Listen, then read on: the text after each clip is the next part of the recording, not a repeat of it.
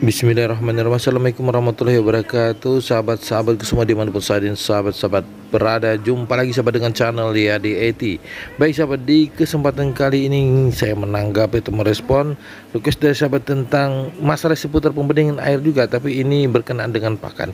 Apakah pakan mempengaruhi pembeningan air Atau air keruh di dalam akuarium kita? Yuk simak Intro dulu sahabat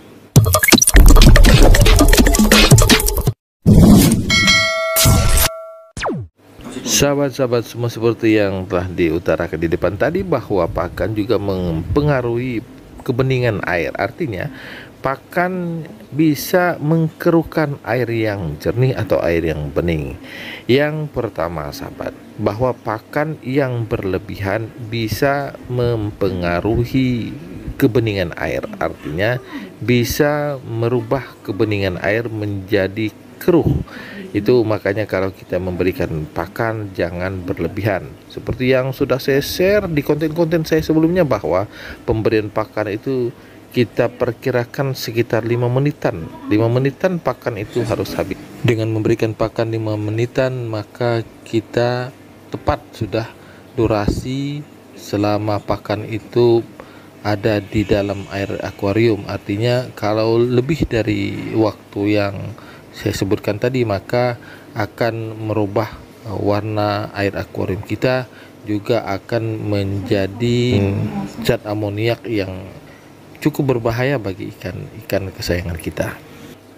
Yang berikutnya sahabat ada pelet-pelet tertentu walaupun kita memberikan pakan dalam durasi 5 menitan masih juga dia menimbulkan warna di air akuarium kita.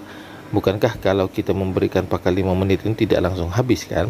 Tapi butuh waktu, ada nunggu untuk dimakan oleh ikan-ikan kesayangan kita sampai habis ya, sekitar 5 menitan itulah. Dalam waktu 5 menitan itu ada pelet-pelet tertentu yang mudah berubah warna atau mudah mengubah warna air akuarium kita. Tapi saya tidak akan sebutkan merek-mereknya ya.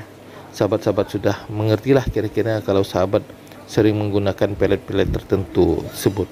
Uh, termasuk di ikan-ikan saya ada ikan mas koki yang peletnya eh, pelet ikan mas koki yang mudah berubah warna. Ada juga pelet ikan diskus ini ya. Nah, ikan diskus ini yang mudah sekali berwarna merah ya.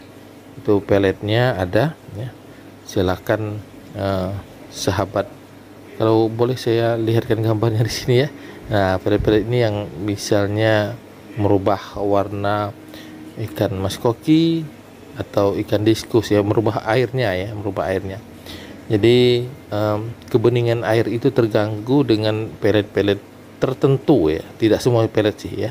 Pelet-pelet tertentu termasuk yang pelet-pelet yang saya um, berikan gambarnya ini jadi sahabat dengan dua poin itu perkara pelet yang bisa merubah warna air akuarium kita tentu kita harus bijak eh, bagaimana cara menggunakan pelet yang tepat baik tepat waktu tepat sasaran juga tepat uh, pemilihan peletnya. Ya semoga kita dengan uh, mengantisipasi hal-hal tersebut bisa tetap membuat air akuarium kita tetap bersih bening dan sehat.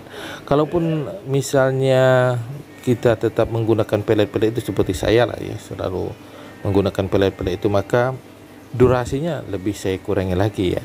Artinya volume atau dosisnya saya kurangi dan durasi pemberiannya juga saya kurangi. Kalau 5 menitan ya saya perpendek menjadi ya sekitar dua setengah atau tiga menitan lah untuk menjaga kestabilan kebeningan air akuarium kita. Demikian sahabat ya, semoga bermanfaat untuk sahabat-sahabat semua yang terutama yang bertanya ini tentang pelet yang pengaruh air akuariumnya ya. Semoga hal yang telah saya sebutkan tadi bisa bermanfaat bagi sahabat-sahabat semua. Baik, terima kasih. Mohon maaf sahabat bila ada kata-kata saya yang salah saya akhiri walau mau. Wassalamualaikum warahmatullahi wabarakatuh.